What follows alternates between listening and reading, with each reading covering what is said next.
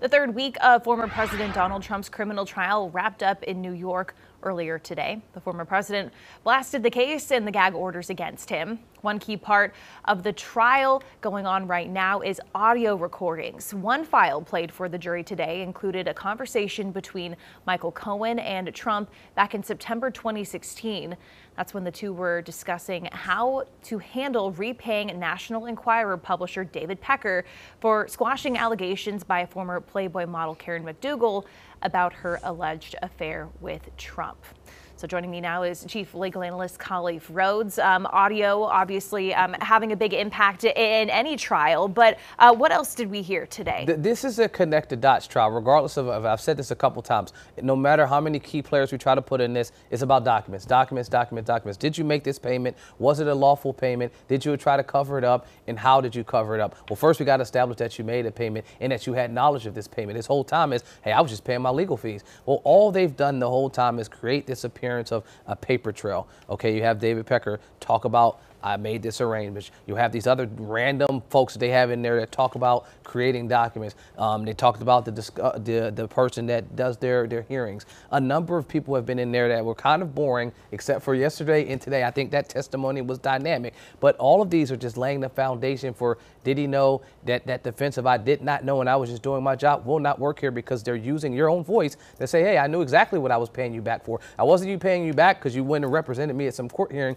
I was paying you back because you ended up paying someone else that covered a case for us. Well, yeah. What kind of impact does having evidence, not just testimony, but either audio or video, or just something you can physically show the jury? What kind of impact does that have on on their decision? It depends on what it is. You know, if it's something tangible that they can touch, I really think that helps in trial. If I got pictures, I want to be able to show that. Um, if the DA has pictures or video of my client, I don't want them to show that. It really just depends on the moment. But when you're in a case like this that is paper, you want to bring it to life because no juror wants to sit there and look at documents documents, although they don't want to see transaction number 55 in a line item. Nobody wants to see it. That's a snoozer. You saw a couple times when they had those kind of lame jurors. You hear a number of people, the witnesses, I should say, people mention that jurors were fidgeting in their seat. They were closing their eyes. They were rocking back and forth. That will put anybody to sleep. And so you have to try to find ways to bring it back up to life. If you got someone's voice on audio tape, excellent. You got video, even better. So those are all ways helpful to make them connected to a real life thing. Papers suck in jury trials, but you need them because they got to show the paper trail some way. And you have to look at them again. And when you go back to make your verdict, you have to be able to reference back to something, right? So,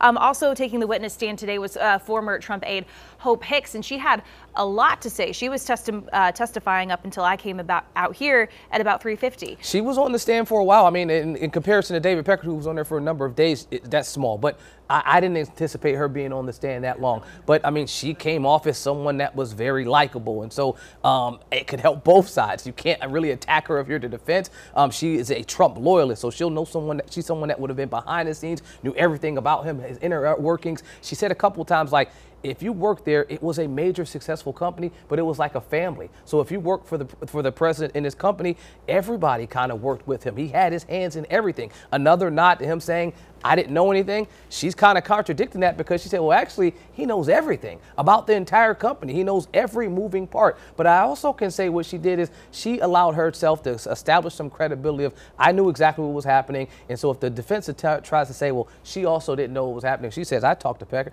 I talked to Cohen, I talked to the president. When I found out about this, he told me exactly what to say to deny it. And I didn't believe it at the time, but I still did it because I was very committed to the president. They haven't spoken in the last two years, so I don't know if that relationship has diminished during this time, but what I can say is she came off as extremely credible, extremely likable, and extremely consistent. All right, well, we might continue to hear from her in, into next week, uh, but uh, this will, again, continue next week. I know they have a couple days off, so uh, Khalif, thank you. Well